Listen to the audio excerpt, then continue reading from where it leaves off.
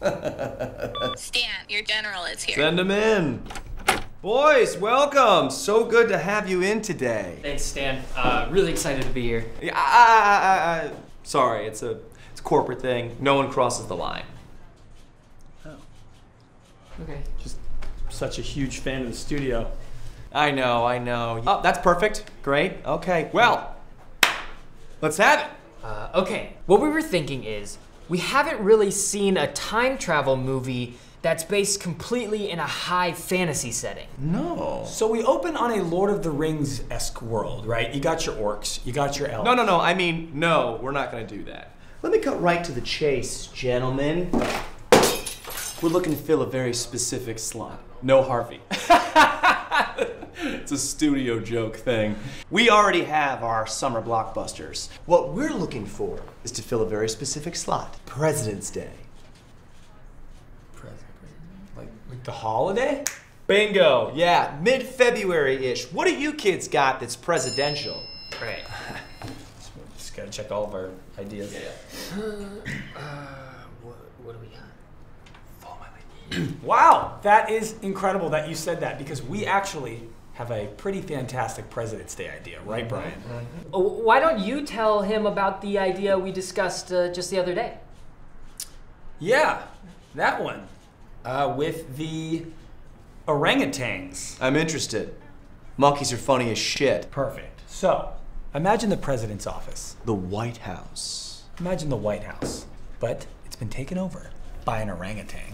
Yeah, it's like Dunston checks in, but it, except for not checking in, Dunston wins the presidential election. Okay, okay, let's get some more in there. Uh, what's the orangutan's party affiliation? Republican. Needs more conflict. What's his platform? He hates zookeepers. Yeah, and he calls them all rapists and thieves. And he wants to shut down foreign zookeeper immigration. Okay, feed me, give me some more, more conflict, more layers. Okay, so the orangutan, he's cheating on his wife. Uh huh. Let's just say he doesn't have the best relationship with women and he may be facing some sexual allegations. Feel like it's getting a little unreal, gentlemen. Yeah, no, I mean you're you're right, you're right. I mean, how could an orangutan have this level of complexity in his life? No, no, it's not that. It's just not very presidential. So I'm not a writer. You guys are the writers, clearly. But I have an idea. The bad version. What if he gives a tax break to struggling millionaires? Yeah, that, that sounds cinematic. That's yeah, that's actually like a really good idea. yeah.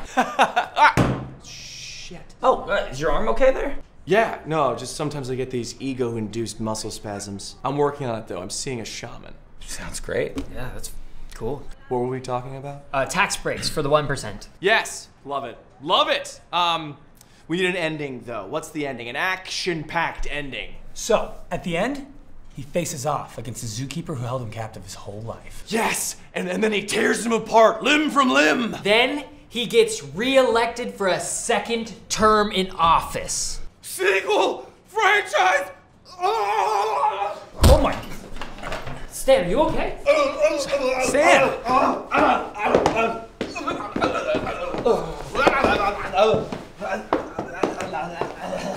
Did we get uh, someone?